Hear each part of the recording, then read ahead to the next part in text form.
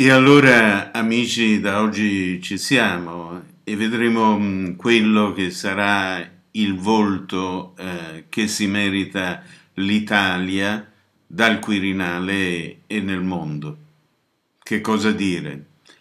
Il mio pensiero è che mh, mm, venga fuori dall'elezione del Presidente della Repubblica una persona la quale ci restituisca un po' di entusiasmo e ci restituisca un po' di fiducia nel nostro futuro e che non accada invece che mm, ci ritroviamo in una eterna battaglia per bande che durerà sette anni.